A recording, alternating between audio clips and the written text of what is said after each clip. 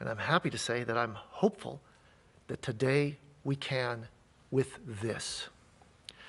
This is an image of the rover Perseverance slung beneath the descent stage, its propulsion backpack, as it is being lowered to the surface of Mars.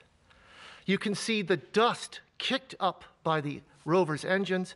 We're probably about two meters or so above the surface of Mars. We're checking the timing of this image. It's just hot off the press.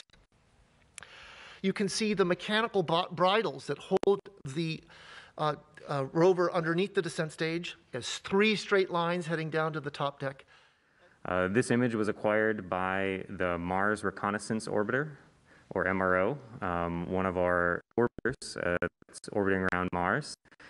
Um, you can see here in the uh, zoomed in part of the image uh, in the upper right, our spacecraft uh, with a fully inflated parachute um, and hanging underneath it our protective entry capsule. So speaking of our, our target uh, in Jezero Crater, uh, I have another image to share with folks, um, if we could put that up. Uh, this was an image captured by our rear hazard avoidance camera. Uh, so this is looking backwards from the Perseverance rover's perspective. Uh, when I look at this image, uh, first of all, I feel a great sense of relief. and uh, second of all, uh, I see a landing site uh, that looks relatively safe, uh, free of boulders, free of cliffs, free of great slopes.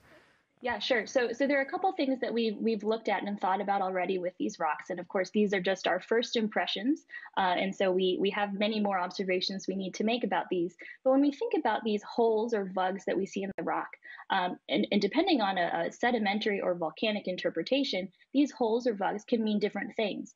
And and so having holes like this in a in a volcanic rock is not uncommon. Um, as a lava solidifies into a, an actual basaltic rock,